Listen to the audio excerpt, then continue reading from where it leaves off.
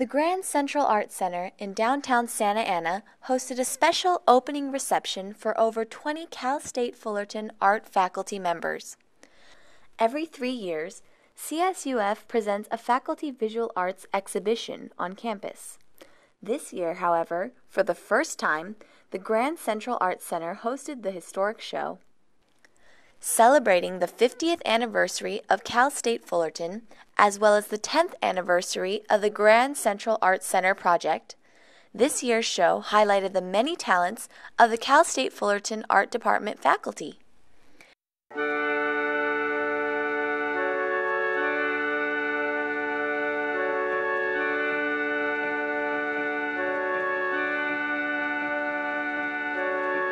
When I was a kid years ago, wide eyed with a future slow.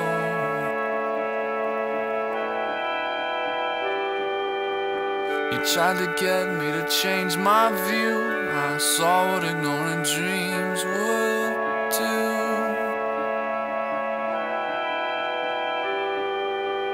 There was a time it was hard to see. Just shine a little light down